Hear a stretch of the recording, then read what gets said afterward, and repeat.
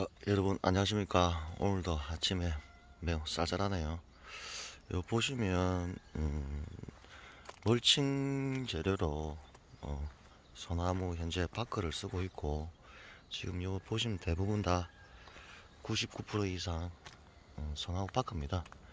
그리고 뭐 소나무 가지 똥가리가 좀 있어서 그렇지 대부분 99% 바크입니다 어, 블루베리 나무를 멀칭을 할 때, 어, 농업기술센터나 뭐, 보시면, 뭐, 그냥 유기물을,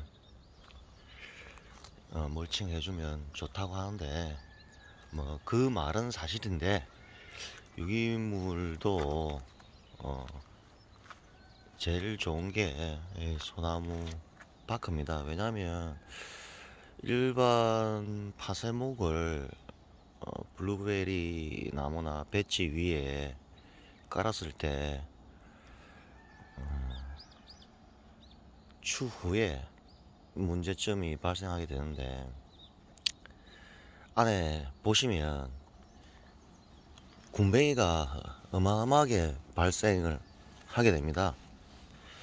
그리고 사실상 그 어, 파쇄목을 재놨다가 깔 거라고 이렇게 삽질을 해보면 삽질하는 도중에도 군뱅이가 나오는 경우가 있습니다. 그런 경우 어, 블루베리 나무 뿌리를 군뱅이가 다 깔가 묻게 됩니다.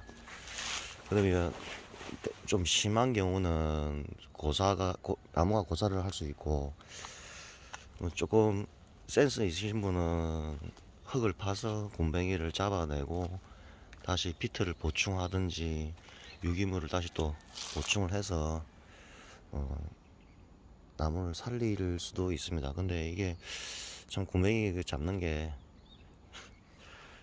힘듭니다. 얘들이 또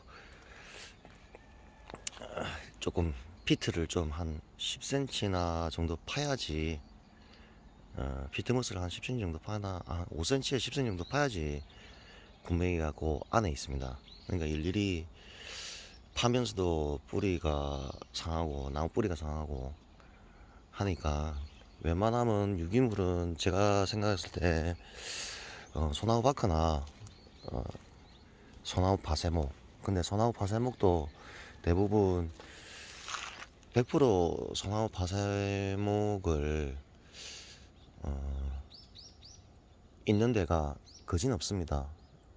그러니까 조심해서 쓰시고요. 깔비도 제가 써봤는데 소나무 깔비에서는 군뱅이가 발생하지 않습니다. 음, 발생하지 않고 어 그 소나무 깔비 말고 깔비가 그 비슷하게 생긴데 좀 작은 그 잣나무 깔비라고 해야 되나요? 그거 같은 경우는 좀 군뱅이가 생기더라고요. 그러니까 이런 점을 좀 잘 생각을 해 두시고 어, 멀칭을 하시는 게 좋을 것 같습니다. 네, 주위에 인근에 보시면 군뱅이 피해를 보신 분이 상당히 많습니다. 그리고 어, 힘들어 하시는 경우도 많고요. 근데 이렇게 소나무 바크를 깔면 음, 군뱅이가 거의 없습니다. 그렇게 생각을 하시고 유기물을 멀칭하실 때 어, 신경 써서 멀칭 해 주십시오. 오늘도 좀 달려보겠습니다. 여러분도 주말 잘 보내시고요. 어, 구독과 좋아요가 저에게는 큰 힘이 됩니다. 구독과 좋아요 좀 부탁드릴게요.